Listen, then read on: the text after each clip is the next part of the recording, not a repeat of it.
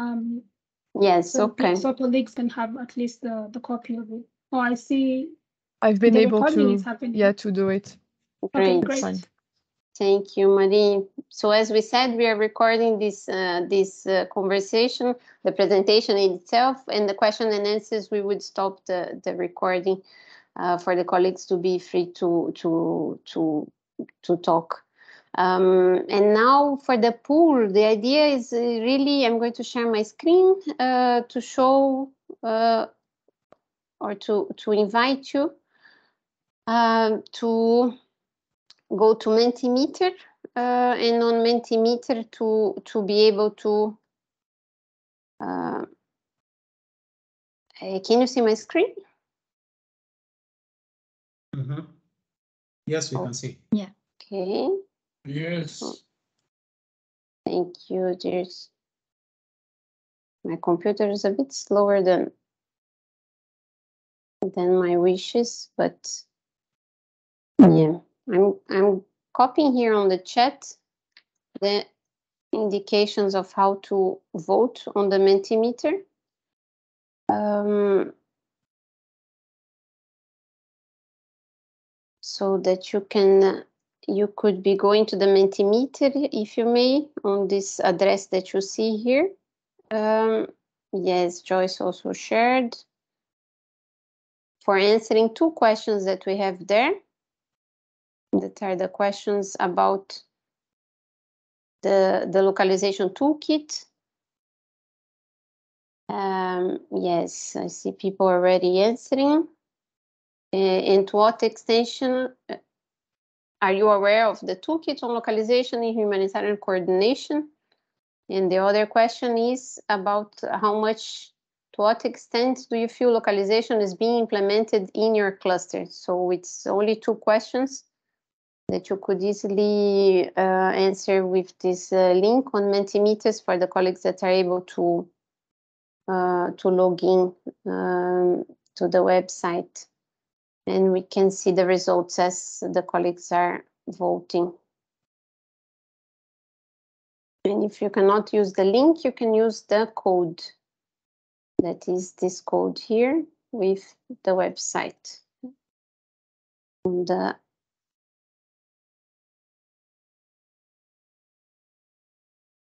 that I'm also sharing here. I'm sharing the code. Michelle, I hope you can see it here now. 4952 4699. And going back there to see the results. How are they evolving? Um,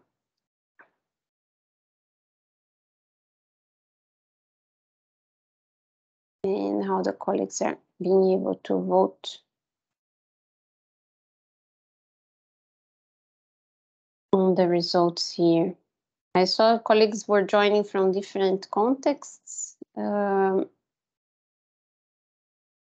that indeed the the the implementation of localization uh, so would be different yes in different contexts that we were able to to to see from now from the it's slowly uh, updating the results not so fast maybe colleagues are facing some challenge to to have access to the Mentimeter. I will keep a track on it here as we are talking, because sometimes the update is a bit slower than than the with the internet. Yes. So so far we have for the first question, are you aware of the toolkit on localization in humanitarian coordination? Seven colleagues that said yes, I'm aware, but have not looked at it one colleague that said is aware and have looked at it, and three that uh, are not aware uh, of it. Um, and as a second question, to what extent do you feel localization is being implemented in your cluster? The majority of the colleagues answered so far that there is some interest in localization, but low implementation. Other three colleagues said that localization is a priority and it is being implemented in their contexts. And uh, one colleague said that localization is not a priority uh, in its uh, context, in his or her context. A second one too said the same. So the results they keep uh, updating as the colleagues are able to answer. Um, and for the sake of this uh, this uh, conversation and the webinar to continue, I'm just going to stop sharing my screen and share with you afterwards the, the final result of, uh, of this uh, pool here. But it was uh, for us to have a sense of how things are moving in your context and if you have uh, knowledge of the of the tool itself that is the toolkit that we are going to introduce here, right, on, on the conversation today. So with this uh, conclusion of the pool, we have a, a bit of a picture, Dennis. I would say that the colleagues, yes, would like to hear on the toolkit indeed, because they, they may be aware that exists, but uh, they still need to, to look at it and uh, having the time and having you know, also the energy of going through. So thank you again, Dennis and Ben, for the time on uh, and the support on presenting on the toolkit. And I'll pass over to you. I'll, I'll, I'll also post on the chat the toolkit, the link for the toolkit for the colleagues. Over to you, Dennis. Thank you. Okay, thanks. Thanks, Carolina. Um, as I share my screen, uh, it's quite, we've noted that, uh, you know, there's quite some bit of progress uh, in the different uh, sectors and cluster with regard to localization. And uh, I hope that, uh, you know, there is also room for improvement when you talk about, you know, how do we uh, entrench localization policies and practices in our different respective sectors and also in our, um, uh, you know, in our clusters. And um, something interesting is that localization has been, we've had different conversations on localization, both at global level, at regional level, and even at uh, some pockets at local and national level. And, uh, you know, when you talk about localization, there has been different, uh, you know, uh, different understanding and different perception on how uh, to go about with localization. But the best thing about the tool is that the tool brings on board different um, uh, tools, different guidelines that are able to uh, that are able to uh, champion localization, both from their sectoral perspective and also from uh, uh, from our clusters perspective. And uh, indeed, how do we then uh, go about with localization in our different uh, humanitarian and coordination spaces? Is localization about? Sorry, um, Sorry Yes. to interrupt. I'm not sure other colleagues can see the slides. oh, Yes. let me just share the screen. Sorry about that.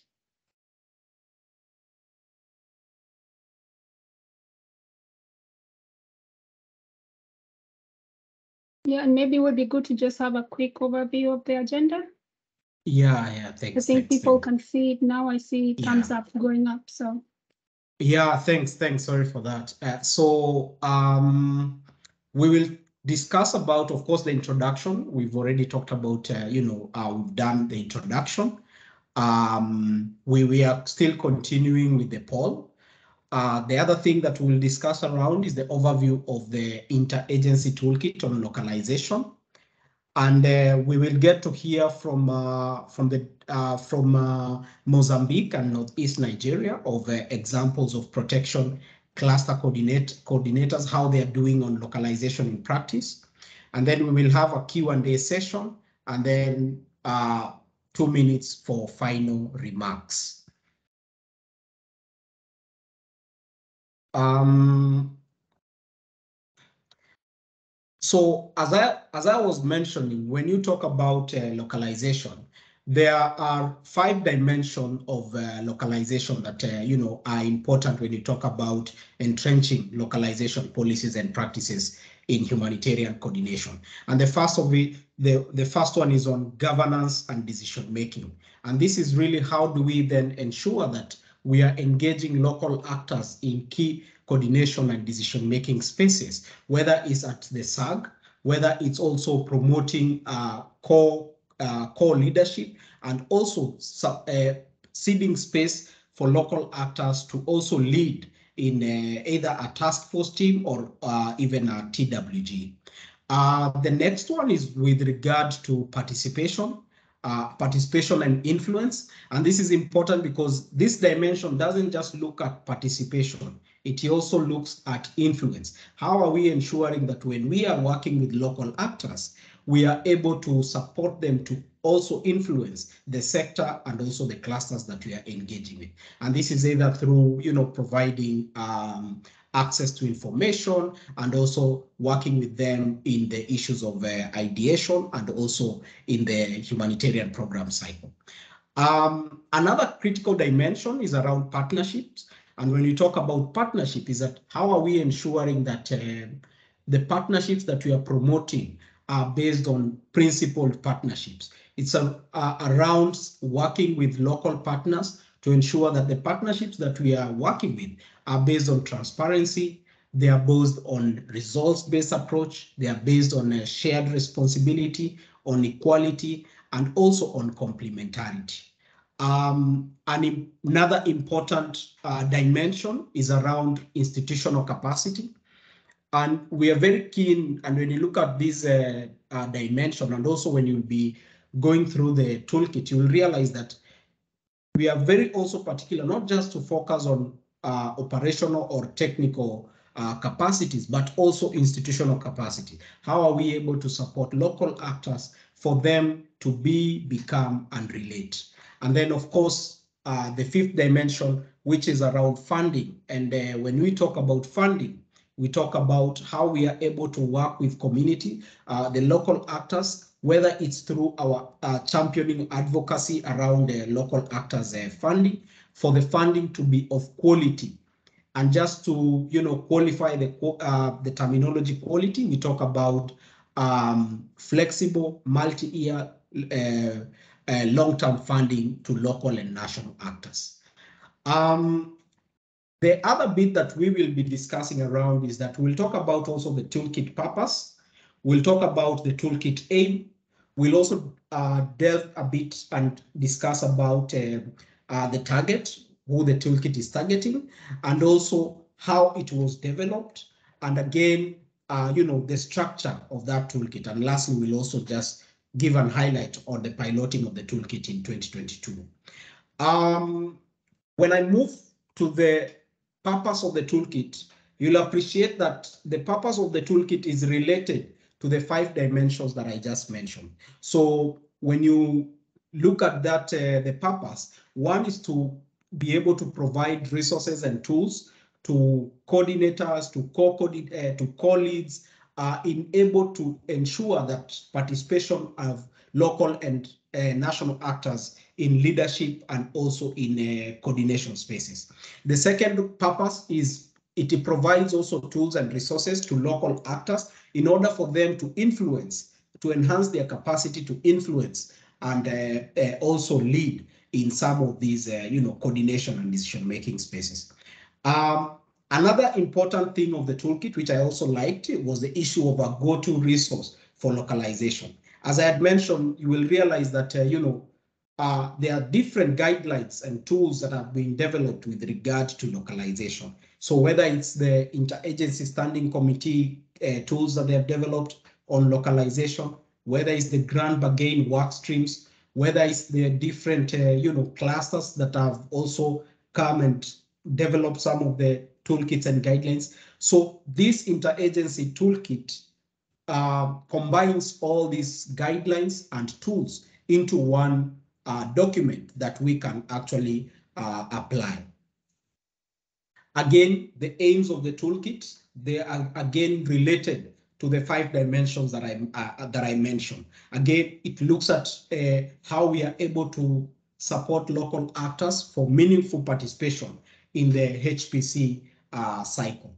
Um, the other one is on, uh, you know, increasing leadership of the human uh, within humanitarian coordination structures of local and national actors, and also of interests related to the funding dimension is on supporting them to have an enable increased access to funding.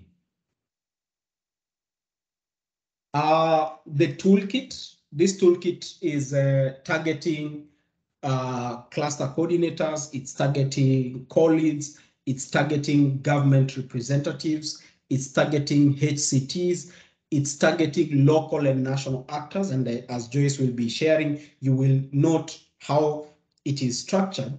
It's structured based on the different target audience that are highlighted here.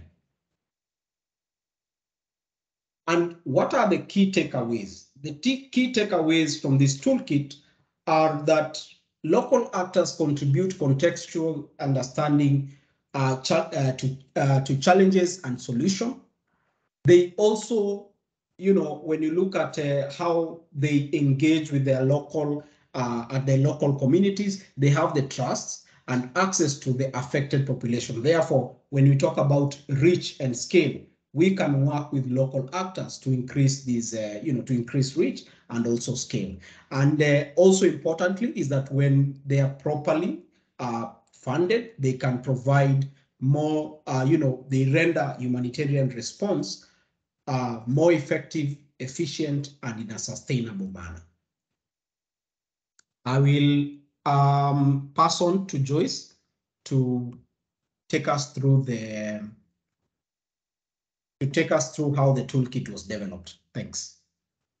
Um, thank you, Dennis. So again, good morning, good afternoon, good evening, everybody, and to good to also reconnect with a couple of names that I see uh, from the field. Uh, we haven't been in touch for some time, but good to see you connected today. Um, so the toolkit has, um, as Dennis has introduced, uh, really brings in uh, brings together resources that have been developed um, on localization from you know various um, humanitarian um, um, aid corners. It's not developed necessarily to have something new, but it brings together resources, resources that were all available, but looking at how those resources can be used by different actors or different sections of actors within the humanitarian uh. So as you will note from the toolkit, for those who've had a chance to have a look at it or uh, those who are looking at it, it is um, designed mainly for uh, coordination in humanitarian action. So we are focusing really around supporting cluster coordination and entrenching localization within cluster coordination. So this toolkit was developed um, last year uh, through an interagency approach and inter intercluster approach. So it was a child protection, uh, global child protection area of responsibility, the global education cluster, the global nutrition cluster, and the global wash cluster, together with Save the Children, Street Child, and a few national organizations in South Sudan, in Iraq, and, and elsewhere. But it began by looking at uh, conducting a desk review of more than 170 resources um, that were available on localization, and then trying to look at uh, what those resources already provide for, trying to identify gaps and, uh, and recommendations that would be taken forward on the development of the toolkit. And then the desk review was uh, um, also accompanied uh, or followed by consultations with key stakeholders, including national actors, international actors within the humanitarian um, aid uh, world or humanitarian assist assistance world. And then from there, we had the draft toolkit, which was being developed um, through by a, a, lead consultant, but working together with an advisory group that included uh, members from the global cluster um, coordination teams that I've mentioned, as well as national organizations and international organizations at the global and and um, uh, and, and country levels.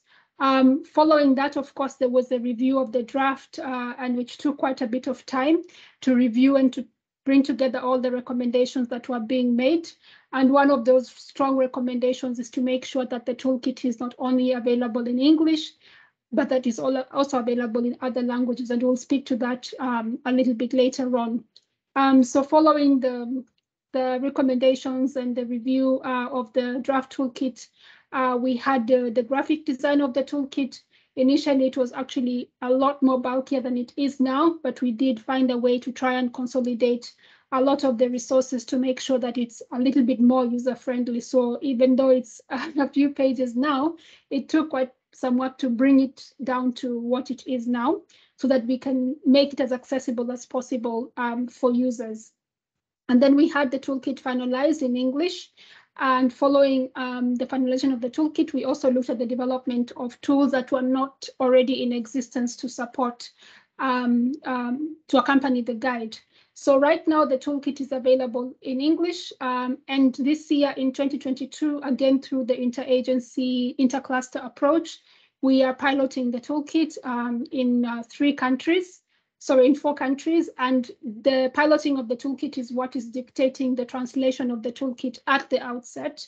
But eventually, with, a, with the addition of resources, we have we hope to have the toolkit translated in the main languages of Arabic, French, Spanish, in addition to the languages that may be in use in the countries where the toolkit is being piloted. Um, yeah, and then uh, the toolkit, we had the launch, the official launch in um, April this year.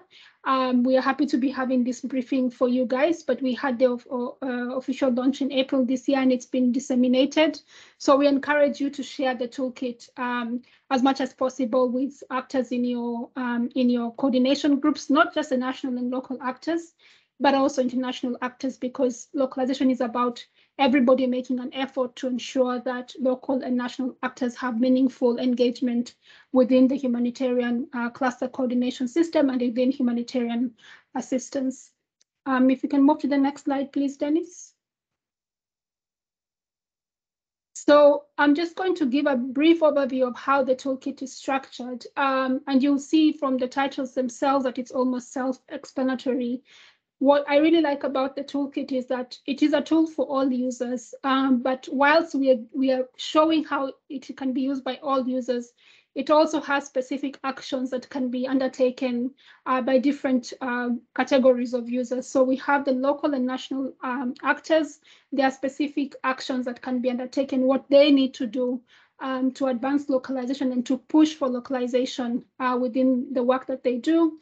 Uh, also, what the responsibility, for example, of the cluster coordination leadership teams as well as the humanitarian country, country teams, because the shift cannot only be made by one area of responsibility or by one cluster, but the whole system within a country that looks at cluster coordination and humanitarian response needs to engage in localization. And of course, the levels of interest may vary from context to context, but it is only through concerted effort that we can have um, the shift towards localization that makes a difference um, in reality. And then there's also tools that can be used by um, other cluster coordination group members who are not necessarily national and local actors or the coordinators. So we invite you to really have a look um, because what the toolkit offers is if you are looking for something specific, if it's on advocacy, if it's on funding, you can actually look at a specific session section and look at how you can apply that or how that informs you. So you don't feel overwhelmed to have to read the whole toolkit and to have to apply the whole toolkit, but that you can look at what appertains to you as a local actor, national actor, coordinator, or cluster member, and see also which areas you might want to focus on, of course, guided by the pillars of localization that Dennis had introduced us um, to. And it also has case studies as well as sample documents um, that can be utilized. So in the interest of time, I know the next slide also just shows something very similar. I'm going to pass on to um, Ben to speak around um, the piloting of the toolkit and the steps that we are taking to make sure that it's not just a document, you know, in Word, but that we are using it. Ben, over to you. Thank you. Thank you very much, Joyce and Dennis. And if we could go to the next slide, please, Dennis. Okay, great. Uh, one more, one more click as well, please, Dennis. Um, so yes, this is, um, and yeah, this is the piloting of the toolkit. So what do we mean by this? Uh, well, obviously, as Dennis and Joyce have briefed you on, we have this like wonderful toolkit that's come together through a lot of this collaborative work, uh, a lot of time and dedication that's gone into making it. But how can it be useful for you? How can it be useful for our cluster teams globally, um, also at the country level, at the subnational level, we need to make sure this is a living toolkit and it's as useful as possible for everyone that can use it. And Dennis has described the different target groups of, of who this is uh, used for, but one of the kind of main uh, main uh, stakeholders would be you as cluster coordinators to have this as a as a resource to either use yourself directly or to uh, push uh, push towards uh, your members or your partners who are asking for how do we localize things with the cluster system. So based on that, we wanted to kind of test this. We've, we've, we've spent the last couple of years bringing it together. We think it's a strong uh, body of work and a strong resource, but I think uh, that it needs to be tested and, and, see kind of what examples and kind of what kind of uh, uh learnings can be made from testing it um, so that other countries and other cluster teams can learn from this. So there was a bit of funding uh, that uh, the Child Protection AOR um, received for this project and the decision was made to work with uh, four uh, clusters, uh, four clusters and combine with the AOR as well. So you've got the, the UNICEF-led clusters, so that's uh, you know education, nutrition, WASH, and you've also got the CPAOR as well. So those four clusters and AORs jointly want to work together. And the reason that we wanted to do that is because we understand this toolkit as a as a you know a, tool for all clusters, although it was kind of created uh, by a select number of clusters, it can also be relevant for any cluster out there, right? So we want to test it with multiple clusters in, in multiple countries to see what challenges might there be, what opportunities there might there be for kind of cross-cluster working, but also see to see where, say for example, in the same context, it would work well for one cluster but not for another, and kind of understand why that happens. So we've been uh, having consultation with uh, five countries. Um, and uh, off the back of that, we've confirmed in three countries. So you'll see at the bottom there, Northeast Nigeria, Somalia, and South Sudan have confirmed their interest and their ability to support this work. We are in conversations with Northeast Syria, and there's also potentially might be a final country as well. But those are kind of the three confirmed countries, and there might be a fourth as well. Um, the reason we chose them is because we had a kind of mapping uh, from each of the clusters and to see where there was an active presence of each of those four kind of clusters and, and AORs. So the, the combination the kind of, the, those four groups came together and said these are kind of the highest priority countries across the four clusters um, and also where the most clusters were working together and had the time on the ground. So with that, what's been happening so far? So we've brought in a, a consultant to lead this project at the global level. And because it's being worked, uh, it's kind of funding coming through Save the Children, we also wanted to make sure these were four kind of contexts where Save the Children had an operational presence as well, because from a, a programmatic kind of administration point of view, we needed to have Save the Children operational in country as well. But there also needs to be high engagement from each of the clusters in these countries as well. So consultant along with the kind of the um, technical uh, leadership team, which is uh, Joyce, myself, uh, Dennis, and a few other members from the SAVE uh, uh, uh, localization team, are kind of the technical guidance for this project. And we've met with the cluster leads of each of those four countries to understand a what's the situation there and what kind of opportunities in localization do you think there will be, but also b how can we practically move some of these things forward? So the toolkit's not uh, something where you do everything. It's kind of a, a, a, suite of resources that when the needs or the opportunities are raised from the field, so from, from a subnational level or a, or a country level, you say, this is one of our challenges or this is the opportunity, which tool can support us in that? And because there are so many tools here, we can help match the tool to the need in country. So that's the kind of stakeholder engagement part, which we're kind of on now. We it's quite a, sh a short period of time. I believe it uh, it runs till early next year.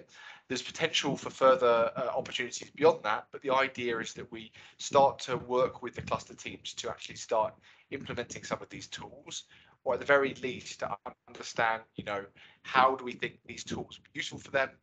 What lessons do we learn from the toolkit as well? So from using the toolkit, but also how functional it, functional it is in reality. Uh, and then also from that, we want to maybe have a further rollout toolkit amongst other cluster countries as well. Once we've had this kind of body of learnings from these first four countries, and then once we move that forward, um, again, more countries will be brought into that. But as, as Joyce was saying, at the moment, the, the tool and the resource is there any cluster team can use it already. It's just that when we go through this project, the output of this project will be a bit of a broader understanding of some of the opportunities or some of the challenges that we've had with it, how to maybe overcome those. Um, and the final thing I would say is that we have also started to um, advocate for the use of this tool. You know, it was made by these kind of four or five clusters you see at the top of the screen. However, there are so many different cluster initiatives, so many different, you know, organizational initiatives around localization.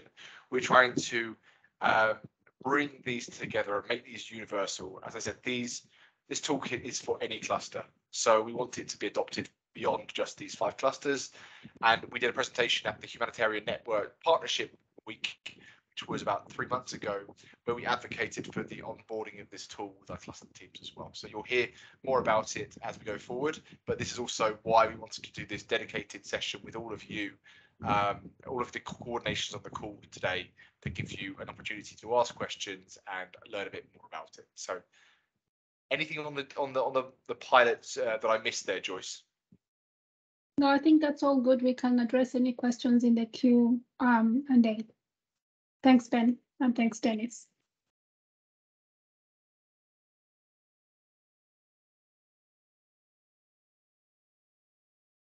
Uh, thank So you I- so much, Joyce. Yeah, uh, it's back to you, Marie. Thank you. Thanks, And Ben, um, as you said, Joyce, I think we can um, we can take some of the questions uh, since we have this Q and A session dedicated at the end of the webinar.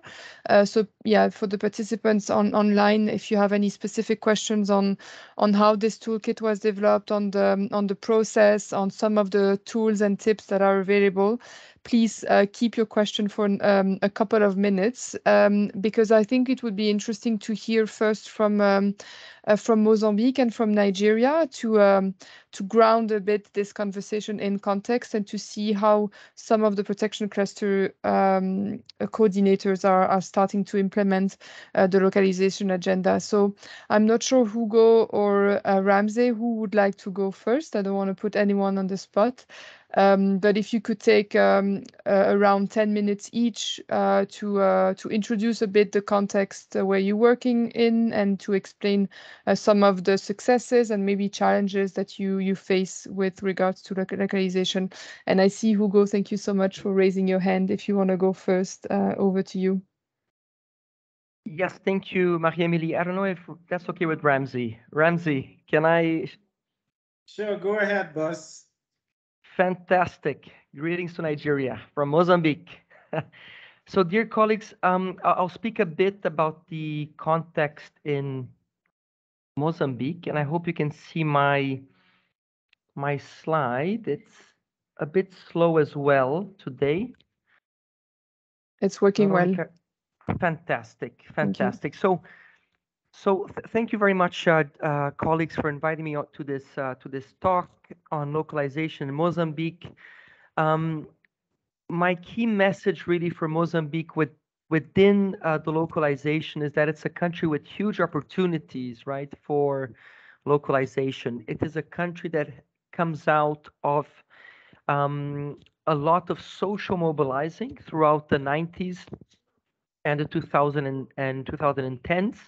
It has been through decades of civil war, which has developed a very vocal uh, civil society, advocating on a number of different issues. In parallel, you also have a country that has ha, was on the Soviet side of the Cold War, right? So it had it has created and still has today a number of associations, of forums, advocating for different uh, sectors within societies. Um, and then, of course, within this comes um, the cluster system that was born out of the Idai cyclone in uh, 2019, which is the same uh, cluster system that is still responding to both uh, cyclones every once a year. Unfortunately, we are heavily hit by cyclones. And secondly, as you might know, a conflict-induced displacement situation in the north that is now approaching, unfortunately, 1 million IDPs after thinking that we had seen a reduction in human rights violation and attacks until um, April this year. Um, May, uh, June, uh, July, August, unfortunately, has has seen a rise in these attacks, um, and unfortunately, more IDPs within the context of conflict-induced displacement. Um, so let me di dive straight into the numbers, I guess. in 2021, we had only nine HRP uh, partners, and actually only one of those was a national NGO, right? An NGO, what, which I mean an NGO created um, in Mozambique and registered as a national Mozambican NGO. And we managed in 2022 to move that number up to three. And as you can see, the proportional increase in partners has been much larger um, for international NGOs, obviously, because we've had we've been highly affected by COVID. There was lots of challenges in scaling up the humanitarian response uh, throughout 2021. So by the time 2022 came along, we had finally an increase in international partners, and we could really bring into our HRP, um, you know, a, a community of protection partners that the protection response uh, deserved, right? Um, maybe, uh, uh as, so as you're already noting, right, that increase of international NGOs was not accompanied by the increase of national NGOs. And this is where we observed a number of challenges uh, throughout 2021. We've identified a number of very, very vocal, very um, interesting partners. Uh, for example, the Network of Child Protection, the Forum of Elder of, of Protection of Elderly's Rights in Mozambique. However, when it was time to submit a project proposal, a clear plan for establishing themselves and scaling up in the northern part of the country, this was a little bit more challenging for these national NGOs, right? Because they did not have they did not come with that funding that would allow them to start activities um, for them to be able to be in the HRP, right? As you know, we we go within our HRP, we look for NGOs that are already responding somehow, that have proven capacity to be able to start that HRP year with some activities. Um, unfortunately, many of the national partners that we were um, prospecting, as we can say, um, were unable to start uh, the year um, in Cabo Delgado in the north where these 1 million IDPs are located. So there already you start seeing the challenges that we are facing. Um, a number of things that I will address um, in my presentation then is of course how we've created some guides that we can quickly share to grassroots organizations, also radio messages. Um, we also had an actual action plan for our protection cluster on where we wanted to be in 2022 with national partners, and I'll talk a little bit about that one. Um, working with the National Human Rights Commission, working with the National Institute for Disaster Management, and then um, some of the challenges that we are and reflections that I will share with you in the end. So within the cyclone, um, within the cyclone response, what we've seen is that um, at the very local level, there are some grassroots organizations, right? There are some um, disaster risk reduction committees that are formed in, in conjunction by the government and this driving civil society at the national level. However, what we found is that when they are they they are responsible, of course, for managing those flows of displaced persons whenever cyclone hits, and more specifically, they manage transit centers where populations move into, and they remained, you know, sometimes one week, two weeks, all the way up to one month. Um, what we've seen last year during the Eloise cyclone.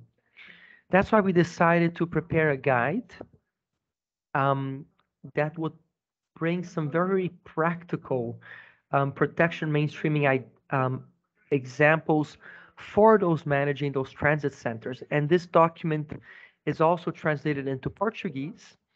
Um, and we will also be working on a, a version together with the, the, the National Institute for Disaster Management so that they can also take ownership of this particular um, this particular tool. Um, within these this idea of creating these messages that we could rapidly disseminate, we also used our our, our network, right? And, and, and, and just like the previous tool and this current tool that I'm showing you, which are radio messages that were transmitted to communities, um, the beauty of the protection cluster is that we can very quickly mobilize, of course, a variety of partners in different technical areas uh, to compile those, right? So this was the same case for these radio messages. We compile a number of messages that we have um, that we are disseminating to community radios that contain very practical tools of, for example, you know, what do you put in your run bag? You know, civil documentation, obviously, right? When a cyclone is hitting. Um, so you can have that document after the cyclone hits and still be able to access certain rights. Um, for example, uh, bringing photographic records of your property and belongings, right, to help you in housing that in property at the moment of claiming them back. Have the num num phone number of your family members. We are in a in a country where many people actually have uh, phones, um, which is quite uh, quite was which was quite surprising to me when I first arrived. Um, avoid separation of family members and so on and so forth. And these are transmitted by these community radios at the very grassroots 48 hours before the hitting or the landfall of a cyclone. Um, I was mentioning the action plan that we've worked together with the strategic advisory group, right? These are the 12 strategic members of the protection cluster. And we've worked on a action plan um, on localization internally for our SAG, right? That these include, include things such as always do meetings bilingual, always produce documents in both languages.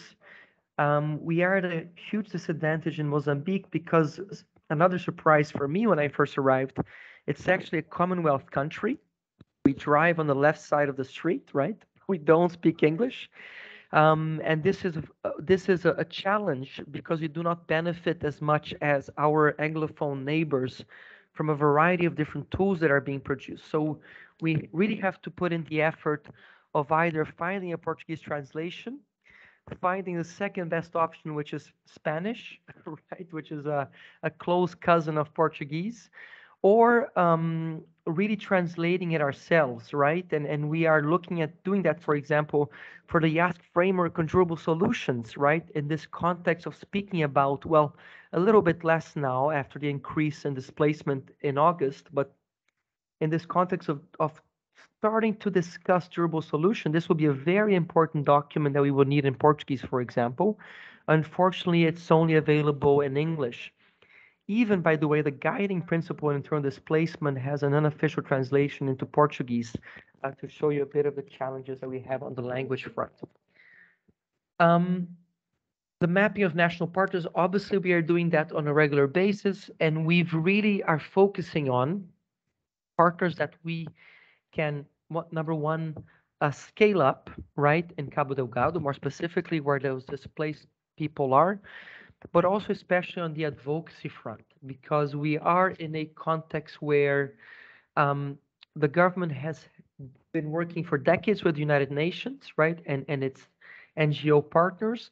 However, mostly on a development approach, right? So when we come along as protection cluster, and we, for example, um, advise them on specifics on durable solutions, they're suddenly very surprised, right? They, they have not been used to a protection cluster that sort of say will, how can I put this?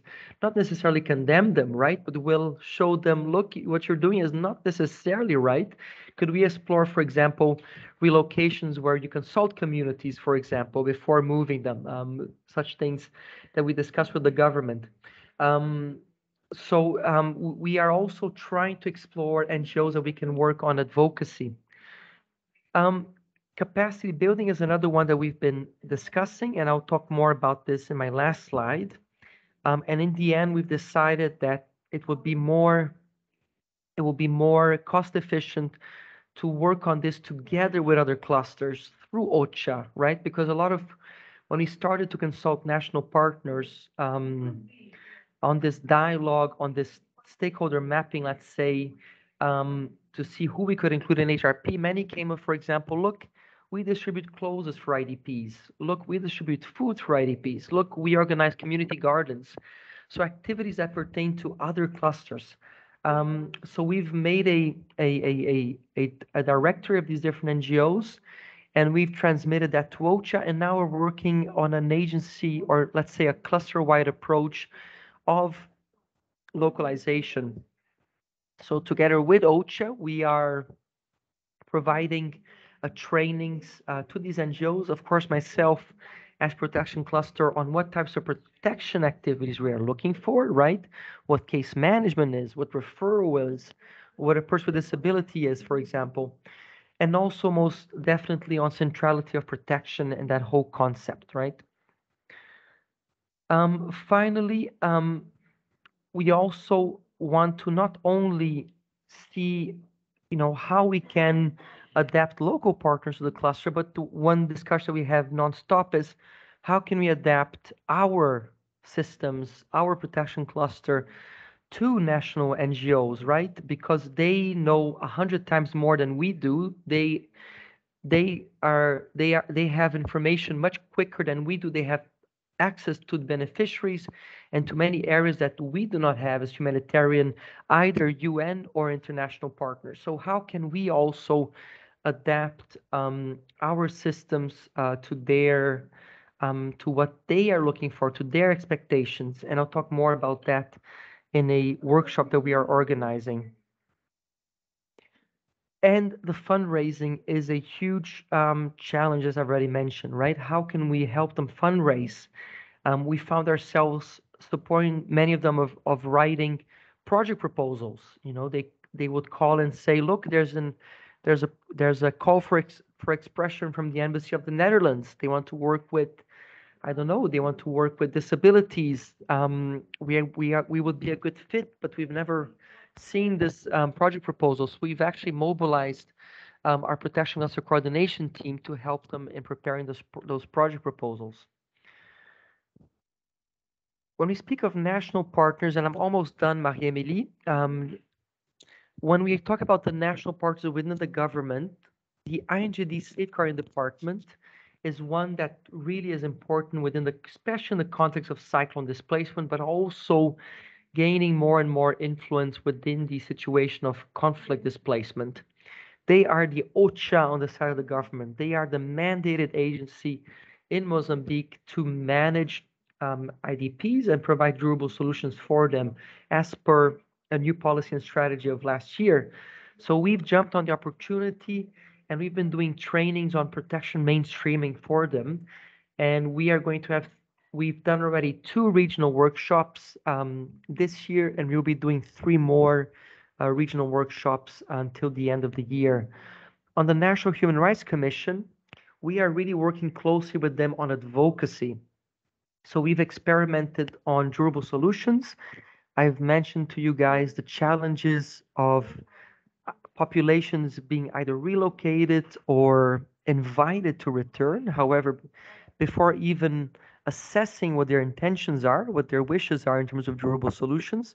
So we've made a, a presentation, um, let's say a, a, a capacity building, uh, half a week with them on durable solutions, on the IASC framework, and then they were advocating on our behalf with the governor and governorship in Cabo Delgado, with the state secretary, another uh, hotshot there in terms of the of, of the authorities, um, to be able to advocate for uh, principled durable solutions.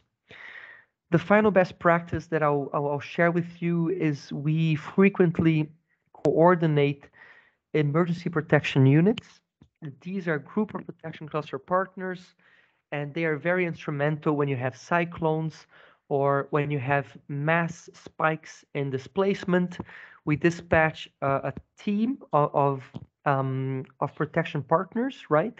A small team, I like to stress, right, of five, six partners specializing in GBV, PSEA, MHPSS, personal spe specific needs, and child protection um, to be able to be on the ground, assess the situation, identify needs, refer them to those services so that they can get um, some uh, services. And of course, within those uh, partners, we, we bring in a lot of national NGOs, right? Because they actually are the one that know where to go, know who to talk to, and they really open up um, they open up the routes for us um, in these assessments and these rapid protection assessments and response missions with our EPU partners. Um, I mentioned also we are moving towards, first of all, internally with UNHCR, but then externally with protection part cluster partners to do a more um, systematic stakeholder mapping workshop. Um, and we'll be doing this next month. And it will be, on one hand, identifying how the stakeholders um, communicate or influence themselves, and also what kind of influence they have and also interest they have in specific um, issues so that we can really hone down and identify those national NGOs, but also governmental partners that we can work with. So this will be done uh, next month. Some challenges and reflections. The fundraising I've mentioned, we have very good partners, I repeat. However, um, really challenging in terms of fundraising, scaling up, submitting that project proposal, right? And we, we sometimes have these discussion with donors, you know, why can't you not adapt your um, your your funding mechanisms, you know, dear Echo, can you please reduce the your extensive e-single form, um, and so on and so forth. Um, again, with OCHA through protection cluster, this is one that we've been grappling with. We are more now, to be honest, going towards working on an intercluster approach advocating for OCHA to take the lead, of course, with our full support. And um, there is at the moment a localization workshop ongoing in Cabo Delgado with a lot of national NGOs that are being, um, um, you know, that are being trained not only in protection but also what are some key parameters and shelters that they should be looking at? How do you work in nutrition? And so on and so forth language. I spoke about that at length, right? The issue of language and translation. Um, we launched uh, last week a a um, a glossary, a protection cluster glossary, and you have there what is protection in Portuguese? That's that's relatively easy. But then what about in Makonde, Makua, Mwani language, right? The local language of the IDPs. So we've created that um, that guide that we are now disseminating among partners to try to bridge that gap as much as possible. And again, the one that we concept that we are still finding that we have not yet solved, you know, how do we adapt our cluster, our, our rigid I like to call it our rigid cluster system, right, to the needs of these national NGOs. Um, and this is a conversation that we have ongoing and that we want to, again, come with some clear recommendations uh, moving forward. So over back to you, uh, Marie-Amélie. These are some considerations from Mozambique side. Thank you so much, Hugo. Um, it was it was great to hear from you, and I could see uh, like all all the tools and and the guidance that you have developed. I'm sure it's uh, very helpful uh, for other colleagues to um, uh, to get familiar with that. I can see in the in the in the chat that Fatima from uh, from the GBV AOR uh, in Yemen is also asking in case you can share those materials. Um, uh, I can, I mean, thank you so much also for putting some of the challenges up. Um, maybe we can circle back to Dennis, to Joyce, and to Ben um, in a minute to uh, to also share their their own reflection on the on the issue of fundraising, on the issue of language. Um, I think the intercluster approach that you're putting in place in in Mozambique is really a good practice. Um, so I will give them the floor also to um, uh, to share their reflections, but maybe just uh, to uh, to go ahead with Nigeria first, and then we can open the floor. Uh, so thank you again, Hugo and uh, and Ramsey. Over to you. All right. Good afternoon again. Let me try to uh, project the presentation.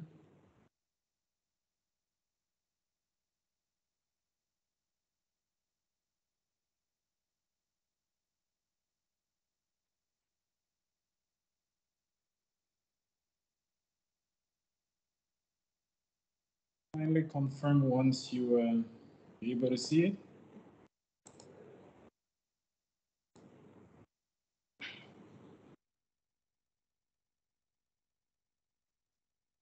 Yeah, right. we can see it now. Okay, uh, like I mentioned earlier, um, I'm presenting along with uh, the child protection uh, AOR coordinator uh, given the fact that uh, within the, the different, uh, I mean, within the protection sector, the um, localization has been more championed by uh, the CPAOR. So I thought it would be more relevant to uh, give them, to give the CPAOR an opportunity to um, share some of the experiences and the challenges related to, lo- to the localization in Nigeria. But uh, I'm just going to give an overview and then uh, I will give the floor over to uh, Peter Simon, uh, the CPAOR, to come in. Uh, so to start with, um, um, let me see. But okay, uh, just to give an overview, like Nigeria, um, as they call it, the superpower of Africa, we deal with a governance system that is relatively strong as compared to other countries where the government decides uh, what should be done in their country. Not the UN or NGOs can make a decision if the government is not endorsing it. And there have been situations where the government decide to do uh, uh, certain things, even if the UN or NGOs are contrary to that, they don't listen, they decide to go it in. The common example is, is what we currently uh, have at hand, uh, where the government decided to close all of the IDP camps, despite the fact that uh, the areas of return relatively are not safe for the IDPs to return, despite the advocacy from the UN, uh, from the entire humanitarian communities, from donors. Uh, the state governor decided that it was going to happen, given the fact that it was a political commitment, regardless of the uh, situation on ground. Uh, they went ahead with the return. Uh, so that's just an example we have of uh, the kind of a uh, country we're working where the government is uh, very forced and strong, uh, strong, and in many instances decide to do what they think is appropriate for them. Um, we have um, the leadership of the protection sector. It's led by the, our government counterpart from the Ministry of Women Affairs, and then co-led by UNHCR and Norwegian Refugee Council. Uh, at the local government level, we have uh, uh, NGOs, national NGOs that are chairing most of our coordination structure. At the state level, it is chaired by uh, the Ministry of Women Affairs, UNHCR, and NRC. But if you go down to uh, the LGA levels, the local government areas, in some places we call it districts, uh, where we have most of the local partners present, they are chairing this, these meetings. We build their capacity to be able to chair the meetings. And if you look at the chart there, um, in terms of percentage, 41% of uh, the protection actors are national NGOs, um, followed by INGOs representing 22%, uh, and the UN agencies are just about 5.5%. And if you look at the geographical coverage in terms of persons of uh, NGOs, we have about 62% are national NGOs covering most of uh, the local government areas and persons. But then if you flip it around funding, uh, about 10% of the funding go to these local NGOs. So let me just uh, give the floor to Peter to just take us through uh, what the Child Protection AOR has done as far as localization is concerned. Peter, the floor is yours. Um, thank you, uh, Ramsey, for the overview and good afternoon, colleagues. I think um, Ramsey has already walked us through the context uh, of Nigeria and specifically the Northeast. I just want to um, dive a little bit on what we have done as um, the child protection area of responsibility around localization.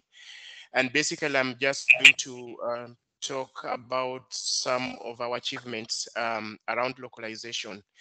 Um, the first being that um, the coordination is actually led by um, the government, which is the Ministry of Affairs, as Ramsey has, has, has clearly mentioned, and uh, UNICEF co-leads um, uh, the coordination at, at, at the state level. And also we've gone ahead and we have a co coordinator who is from a national um, organization. And we feel that this is very important because then the national actors feel that they are represented at the decision-making level, but also are engaged in very uh, critical conversation in terms of programming in the area of uh, child protection. And they clearly reflect uh, the needs, the values, and the um, um, aspirations for the communities that we serve.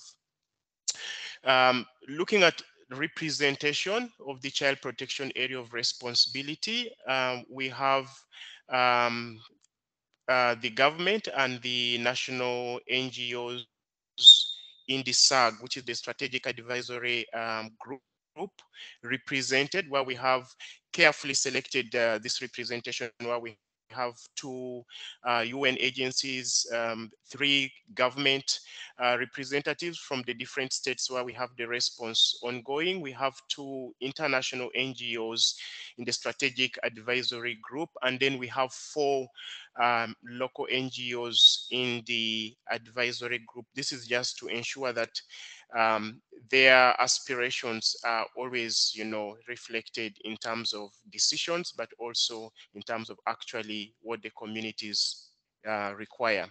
In terms of funding um, in the area of um, child protection, we've tried to earmark um, about 80% of the NHF, which is uh, the Nigerian Humanitarian Fund for national NGOs. So this is a deliberate effort to ensure that at least there's some funding that goes to national actors to implement uh, protection, but also it's a way of really pushing the localization agenda forward.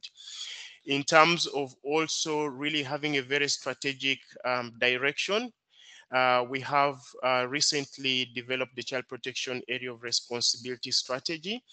And clearly one of the thematic areas is looking at localization, how we can really strengthen uh, the capacity of national actors in terms of programming, planning, and implementation of child protection uh, activities, but also looking at how we strengthen the capacities of the government as well, and they are the first uh, responders when it comes to uh, providing services for child protection. So we, we believe that having that prominently reflected in the strategy gives us um, leverage when we're engaging with donors to advocate for localization and how we can push that ahead. We are also um, currently um, in the process of developing a localization strategy as part of the broader strategy that I've talked about, and also have a dashboard that will show us how we are progressing on each of the indicators that uh, Dennis highlighted at his um, uh, maiden presentation on the um, principles of, of localization. Next slide, please, uh, Ramsey.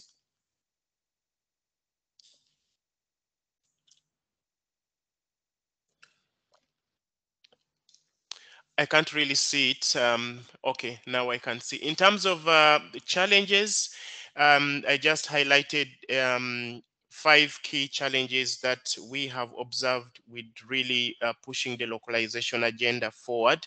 And one is around the weak leadership and coordination at LGA levels for child protection. And as Ramsey said, when you look at the LGA coordination, it's mainly um, in the context of the Northeast led by national actors so we have some you know capacity gaps in, in, in terms of coordination at that level which we are trying as much as possible as an area of responsibility to to strengthen.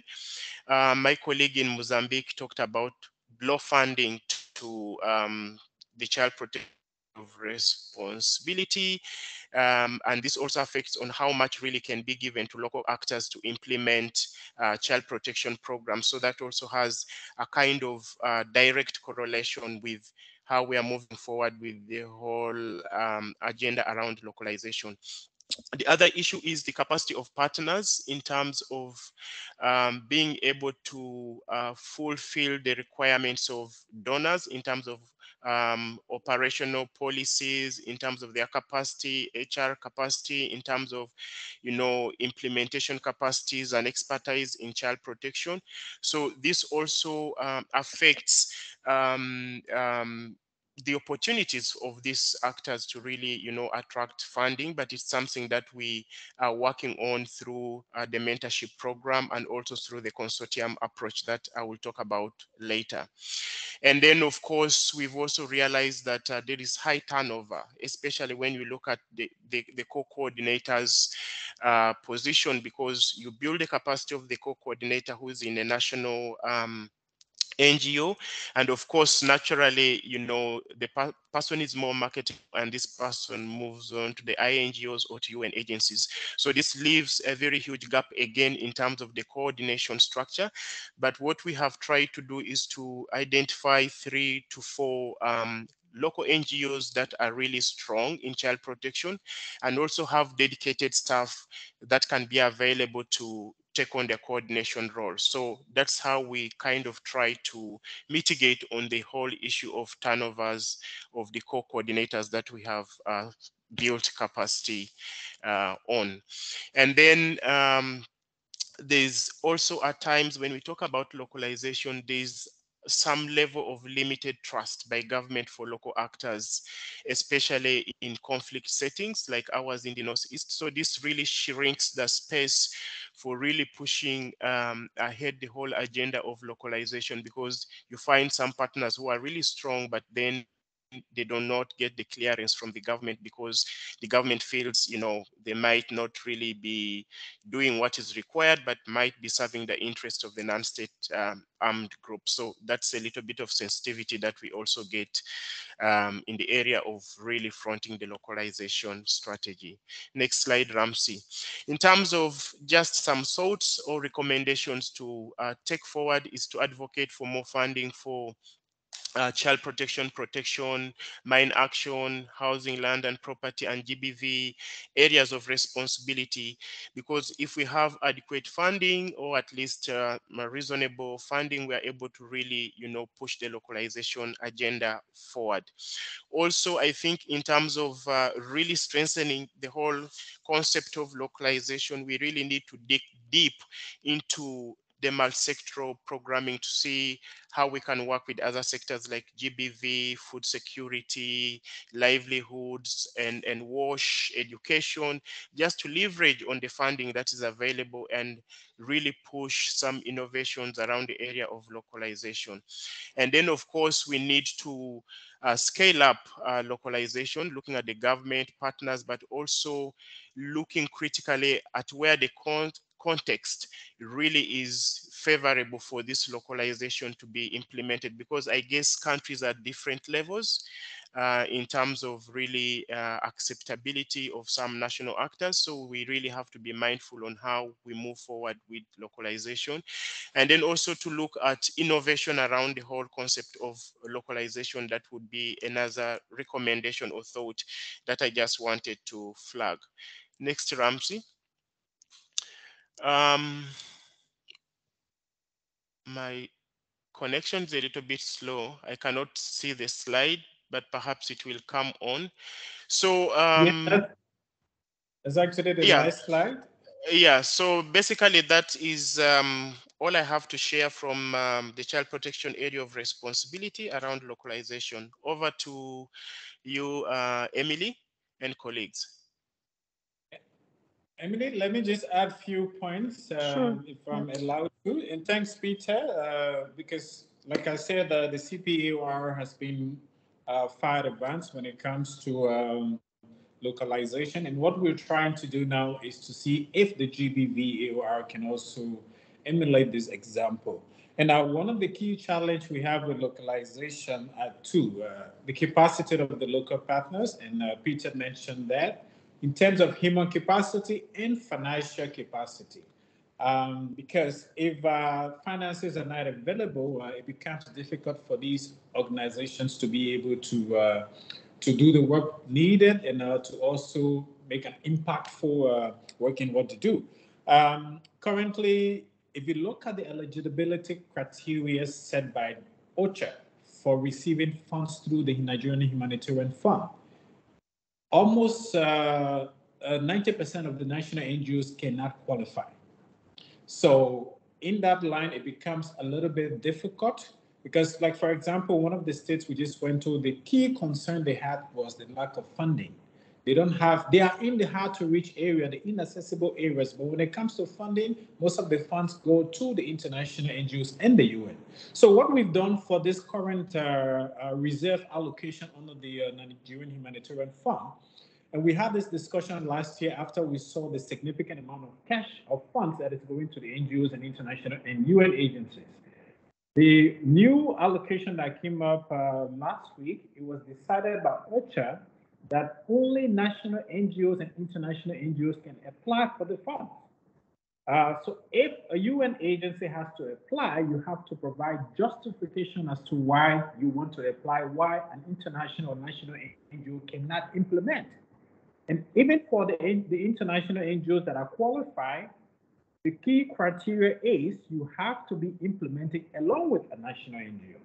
So we've, we've instituted that uh, in this current uh, reserve allocation to make sure that we at least increase the number of uh, national NGOs that are going to be receiving funding this year. And we're going to make sure that this continues. So from the sector side, we had meeting with the partners. Actually, we're planning to have a meeting. We're discussing in our last protection sector meeting that uh, even if a national NGO is not eligible to receive funding through the NHF, they are eligible to receive funding through international NGOs and UN in UN agencies.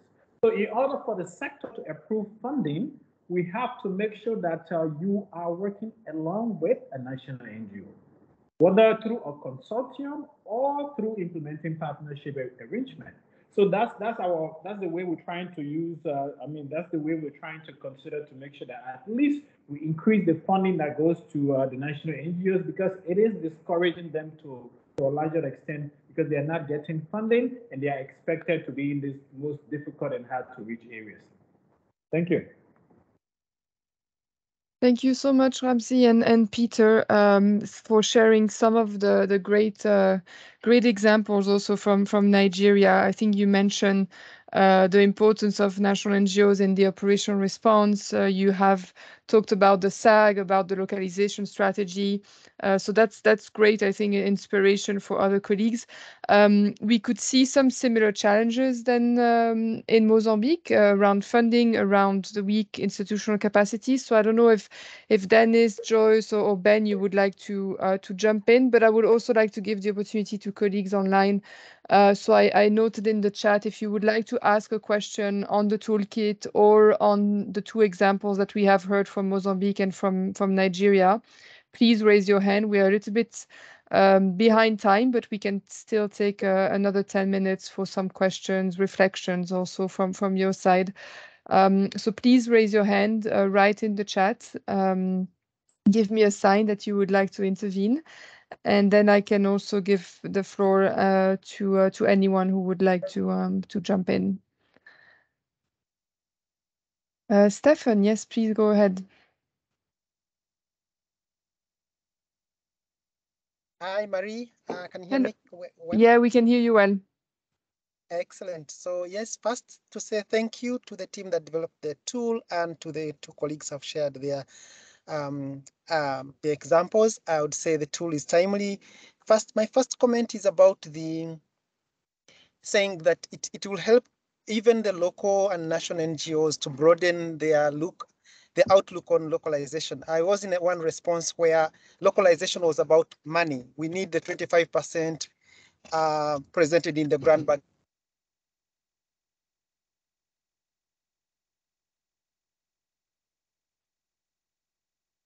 Uh, we have lost you, Stefan. I cannot hear you anymore.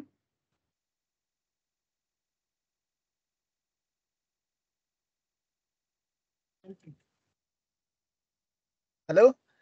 Yes, Marie? go ahead. Sorry, yeah, it was cut. network, Can you yes. start again? Yeah. yeah. Yes, I was talking about the institutional capacity building that uh, we need, I think there's need for advocacy towards donors because even when national NGOs access the funding, the donors rarely fund institutional capacity building for the for the national NGOs, which is kind of the weakness why they would not get uh, any other funding or they will not even strengthen themselves to access like ECHO funding or any other funding. Even the UN agencies actually rarely fund institutional capacity building. And I think this is this is one of the key um, points of advocacy. Also wanted to share about the what we did with the MHF, the humanitarian fund, like the, the Nigerian team did. So we we know most of our local NGOs won't even access the uh, the uh, MHF funding, and what the what our advocacy was towards OCHA, which was actually accepted, and actually OCHA was in for it was even if an INGO applies and they're to get that funding, the qualification would they have to have three local agents, any NGOs as partners. So without any national partners, they wouldn't qualify. And actually, most of those have not qualified at all.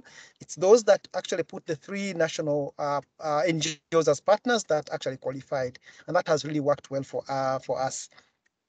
My final um, reflection was about the the movement of staff uh, from the national NGOs to the INGOs.